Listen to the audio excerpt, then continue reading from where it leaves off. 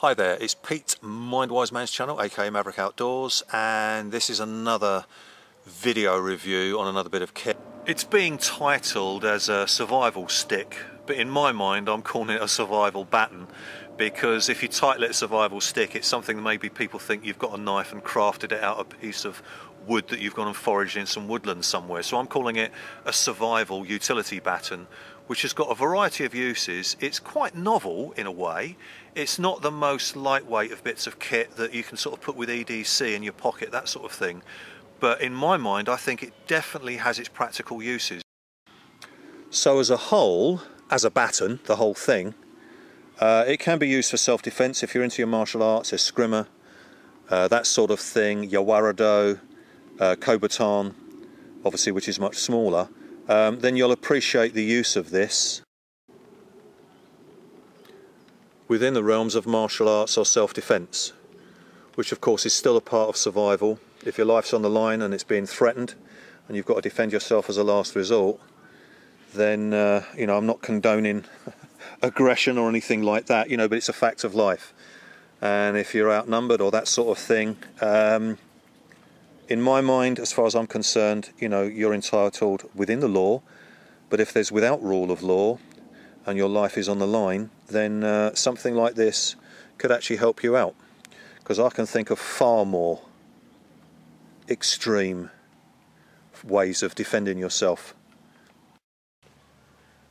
So what have we got either end? Well that little silver protrusion there is a tungsten tip and there's also one the other end as well and you'll probably aware something like that could be used to break glass and to help you escape. It's also specified to break small bits of stone or brick so anything that needs maybe sort of a hammer type effect to it you could use the tungsten tip. Obviously within reason, but it definitely has its breaking uses.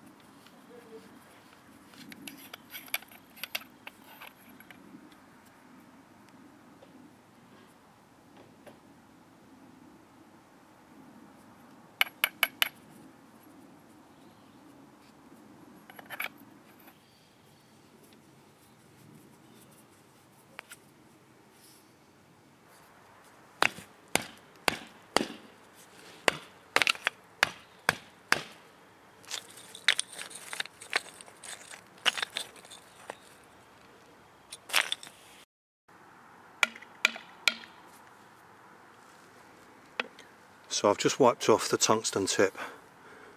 You can see it's a little bit scuffed, obviously, because it's just been hitting brick and stone. But there you can see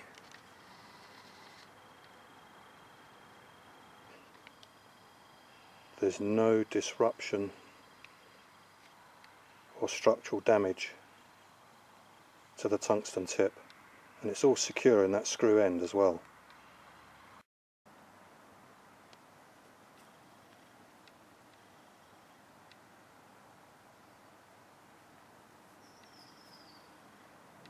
The screw connection sections are quite a few.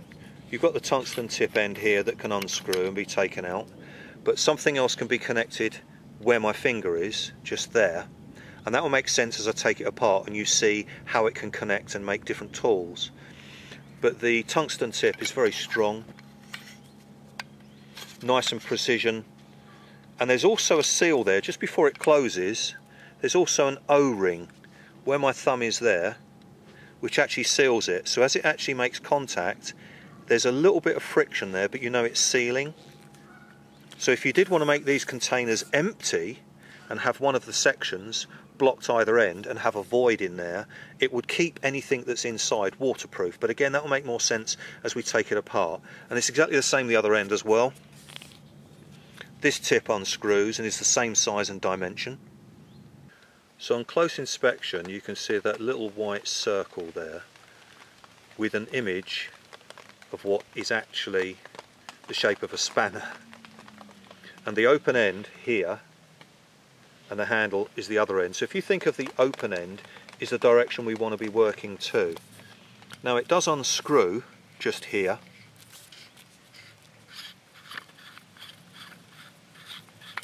and it's sealed with an O-ring but you can see there's nothing there because something else is inside here. But I'll show you that in a moment. I'm just going to screw that back up. And then so it's this bit that's just sealed. Now if we go the other side here where there's a sort of a grip we unscrew that and this upper end comes off. And that is the first tool. It's a knife come scythe.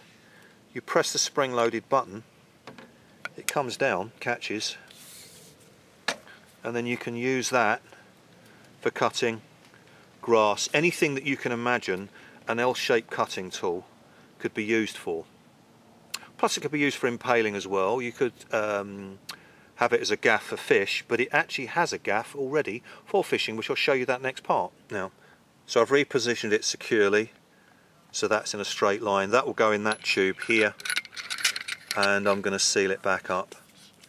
And then the o-ring that's inside gets a little bit of friction. You know it's got an airtight seal. Now if we go to the next one just here if I unscrew that on this area here to grip and unscrew the next tool which is a gaff and saw but also it can be used for a cutter. Used emergency like seat belts that sort of thing. There's similar sort of little tools that have got the same sort of shape but that's also a cutter. You could also use it for gutting fish but also it's got a very good albeit small serration but very very solid saw.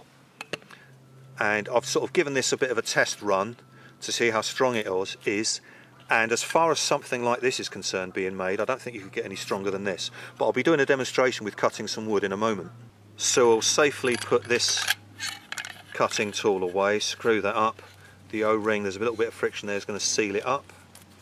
Now if I go from this end, obviously there's no handle here, but you can select and swap them around. So if I undo this one,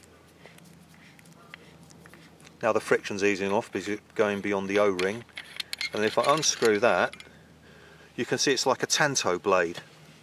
This is really sharp, it's got a sort of a saw edge there, and it's also got like um, rasping teeth there, which you can use to descale fish. It's not that sharp as you can see I'm rubbing my finger on so it's not that dangerously sharp at all. But it would be good for abrasing anything or descaling fish that sort of thing. But the blade is very impressive I've done paper cutting with it, cardboard cutting and also small bits of wood and it's got that little serrated bit there. So it's quite a sort of um, similar to many blades that have these sort of features. And then we'll safely put that back in the tube tighten that up. And then you have everything as the baton. To expand a little bit more on the versatility of the tubing system, you can see here is a little image of what is in front. As I said, the opening of the spanner is where you're sort of working towards, the cutting part of the blade this way. So if I unscrewed like I did previously, this section I held that and this bit came off, it exposed the blade which looks like that shape. The same as this one. And the one at the end which was like the Tanto blade. So it's little images. But if I unscrew the other side, what happens is, I've already previously loosened it to make it easier, it comes off as a separate section. So I'll just lay that down. Now I've got the other two sections. Where I unscrewed it previously on that line here, exposed the blade that was in this tube. But if I unscrew it the other side, which is already loosened for convenience, and take that off, I've got three sections that can be transported safely with the blades kept safe in the tubing. Of course you can have separate cutting devices like small saws for cutting wood, uh, a knife to fillet and gut fish and meat, that sort of thing, and another sort of, um, just like your bushcraft knife or your survival knife. But at least with something like this, it's quite unusual, it's different. Being in a baton type of um, structure, in different sections where actually you know one can be a handle with a blade on it um, it's quite sort of a, a, unique type of idea and plus as well as I say it can be as a last resort and I do say and reiterate last resort if you did need to defend yourself and say you're into sort of baton eskrima type of martial arts that sort of thing then uh, this would be quite appropriate. But I quite like it because it's heavy duty, it's well made, and I think it's just another version of a survival tool, a bit of kit to utilise in maybe ways that other bits of kit that are already established might not function as good as. So you can see that all the blade devices are interchangeable where they unscrew from this part here from the actual tubing and then of course you've got the other small little baton which is there on the right hand side and again you know I don't want to get into discussing and talking about the politics of self-defense. Personally I think it's private and personal to each individual how they defend themselves and the type of system they might use. By default that you're defending yourself. And uh, it's a personal approach to you know how you want to protect your well-being. But something like this you know you can use if it was separate to break windows glass breaking brick that sort of thing small bits of stone anything that you feel that this would actually have the use to actually break from the impact of the pointed tungsten tip plus as well if you're into say kobuton or as it's known Japanese style of self-defense yawarado which is atemi which are nerve points of the body that you strike and as I say as a last resort if your life's on the line, then as far as I'm concerned, you protect yourself in the best way you can. What we'll do now is we'll get this little beauty and give it a little test run and show you how it cuts reasonable size bits of wood that you'd even use maybe uh, the same sort of blade as a multi-tool or even a small saw but uh, we're going to give this a bash and uh, so you can see how it works. Okay, here's some dead wood. It's the lower limb to a tree. It's definitely dead. Don't want to cut anything live, although that still gives another demonstration. But it's sort of quite solid. Give that a bang. And then we'll start to give it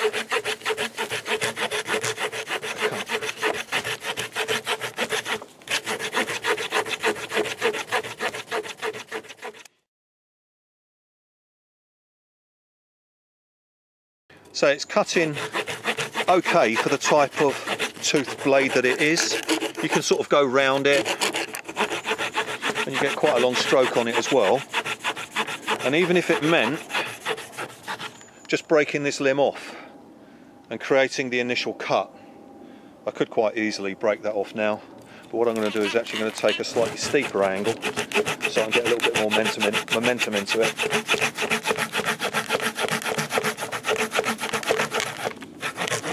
So you can see I'm nearly sort of, well I'm over halfway through now. But we'll keep going. It's got a nice wide gap with less chance of the actual cut gap pinching the blade. Just take that out so see if you can see the depth of it there. Let's just finish it off and I can actually put this and procure this for a later date for firewood. And just come up on that angle so there's less resistance because it's a narrower bit. Then back to the centre line. Voila. So that's not bad. It's what you'd expect and maybe a little bit better from this sort of blade. So here's the base of the trunk of a tree and we're coming up to about average head height here and then if you take it up a little bit higher so you had to cut or needed to cut something that was much higher that wasn't reachable then I'm not going to because there's still a bit of life left in this branch but it's accessible by the sheer fact I've got three sections so that it's extended the handle of the versatile saw. Plus, this can be used as a gaff as well for fishing at this length.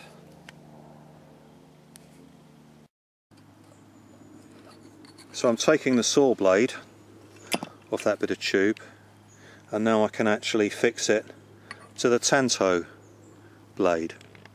This section is lightweight the tubing, although it's really, really solid. It's like, um, I think, a aluminium alloy that a lot of these things are made out of nowadays. That's sort of like aircraft alloy, sort of military grade, and it definitely feels it feels nice to the hand. It's got the the grip to it. It's lightweight, and you know I can sort of I know it's just the earth, but I'm banging that on the ground, and the fixing very well made. The precision fixing. Like it's obviously not full tang because it's not going into the tubular handle but it's that sort of whatever the tang effect in there is the foundation of it is really strong. So I've just been whittling down this bit of wood. It's not exactly dead wood but I didn't cut it found it on the ground and it still feels sort of like slightly damp to the touch so it's not just rotten and it is going to give a bit of resistance to the blade so I've just been whittling that bit this is going to be even more awkward as you can see the little sort of knot bits where the little bits of stem came out. So I've actually used some of the saw edge, that serrated bit here, to get rid of some of the worst of it. You can sort of saw and strike it with the blade. And then just go for the tanto part of the blade as well.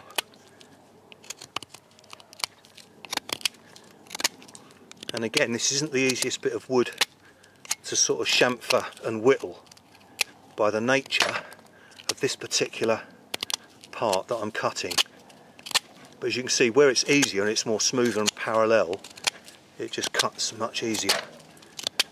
So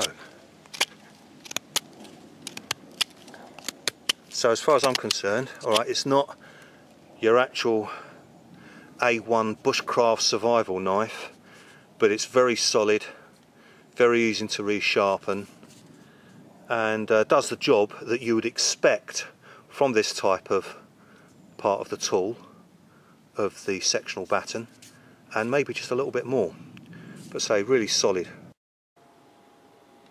So now we've got three sections connected together.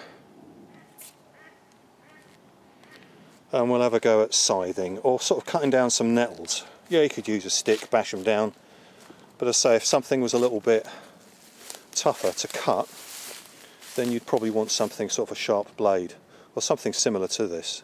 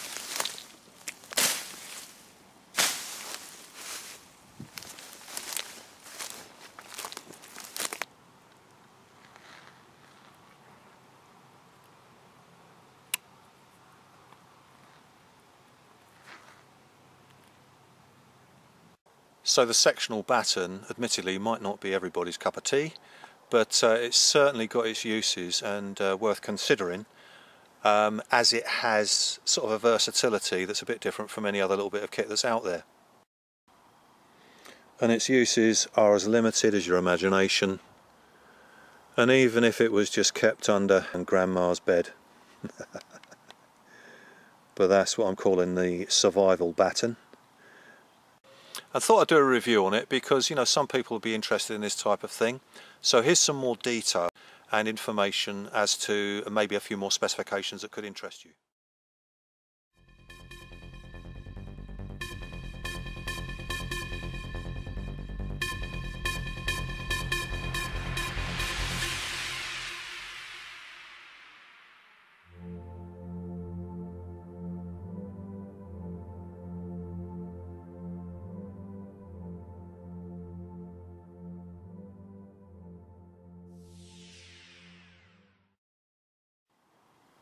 So it's nice and sturdy. Bit like me really. so as always, thanks for watching. Really appreciate your interest. Hope you found this of interest and uh, catch you in another video soon. Cheers. Take care.